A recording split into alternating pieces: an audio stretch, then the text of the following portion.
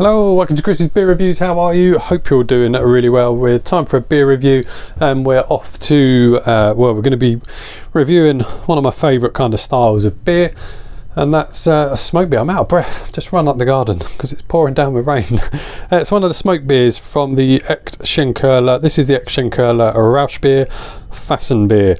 Uh, it's their vintage edition, hence it's got the, the gold sort of top and it's from 2018 their 2018 vintage.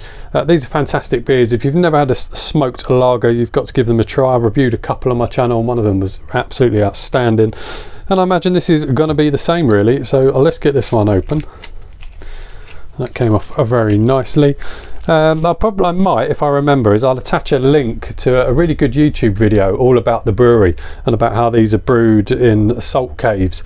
Great little video. It's only sort of about nine minutes long, I think but it really explains the history of it and where the name Schlenkerla came from, which is quite interesting. But I'll attach that link if I remember. But yeah, it's an interesting video. I'm not one to talk about breweries and their histories. There's lots of other good channels that do that. I just like to drink beer and review it. So this should smell like smoked pork, ham, barbecued pork is what this should smell like but it looks fantastic. Lovely head. God there's certainly some floaty bits in there. Blimey there's some big floaty bits in there. Really carbonated. Lovely head. Nice sort of light tan head. But boy it's in uh, another Chris's beer reviews glass bits frosted. My logo so you might not be able to see it. Um, but yeah there's some there's some huge floaty bits in there. Let's go in for the sniff such a great smell. What an aroma. You don't there's no other beers that smell like this. It's oh it's a smooth smoked barbecued pork. You can get you get the aromas of the wood, the smoked wood, the smokiness of the wood because they smoke the malts or dry the malts using real wood, real wood, using wood um, I can't remember what wood they say they use. Is it ash or beech? Can't remember. But you get that. You get that sitting around a campfire type aroma. And you get that lovely smokiness. There's almost apple in there as well. Yeah, like a spiced apple. Smells glorious. Let's crack on. Let's drink this. All those huge bits are down near the bottom. I'm not sure I really want to drink all of those, but there's still more in the bottle. Anyway, cheers. Let's crack on.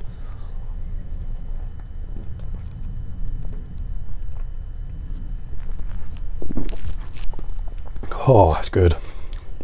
5.5% mm. ABV. I'm not sure if I said that or not. That is glorious. Let's get some more in. So smooth. Such a beautiful body to it.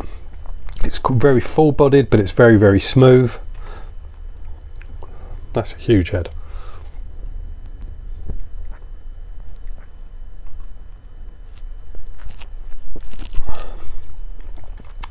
Remarkably remarkably drinkable for something that has such a prominent smokiness to it. But like compared it comparing it with the other Schlenkerlas, this is a lot softer. It all feels softer, and that's probably because it, has been aged. It's a 2018. It doesn't feel as aggressive as the the normal range of Schlenkerlas, which are all fantastic beers. This one just feels a lot smoother, a lot more of a a bigger mouthfeel, and that smokiness is it's obviously it's there but it just seems what's the word I'm looking I don't know it just it just feels kinder than the other ones on the mouth. It's just smooth it's gentle. That smokiness is smooth and gentle. And you get the lovely malt flavors in there. They come out really well. And it just works so well with that smoky taste that kind of porky taste that barbecue feel. And as you're drinking it you, you kind of almost feels like you're sniffing at the same time. It, it just hits all the senses. So it's like sitting around a, a fire with some really nice wood, just burning away but not smoking a load so you're not inhaling it all and you just get that odd waft of smoke and that's what you get on the taste it kind of just wafts around in your mouth that beautiful smoke taste of the lager the beautiful malts that are in there lovely carbonation great body, great mouthfeel.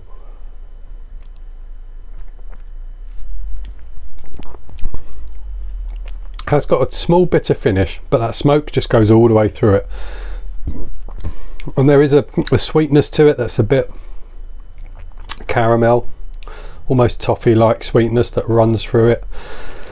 And with those roasty malts and that smokiness and that little kind of meaty flavour you get, it just works a treat. You do kind of pick up on a bit of spiciness as well. I mentioned the apple in the aroma, you don't really get that on the taste. It's just an absolutely glorious beer. Uh, I picked this up from Trembling Madness, had an order turn up today. Uh, I got this in the fridge this morning and I'm reviewing it straight away because I just knew it was going to be a belter. And it is the mouthfeel, once it's gone, pardon me, pardon me, you still get left with a lingering flavour in your mouth and it's fantastic. A nice delicate flavour left in your mouth. 5.5% you could put it in the session category. However I've never sessioned the Schlenkerlas uh, I just think for the way they taste and that smokiness I think you're in for an awful awful headache in the morning if you session those. So I never do. I almost have them as a bit of a, a kind of a treat really. Uh, they're just fantastic. They're to be enjoyed not sessioned. Absolutely glorious beer. Picked up like I say from Trembling Madness. Six pound 40 I believe. Six pound 40 worth every penny damn good beer. I'm all done. See you on the next one. Take care. Bye.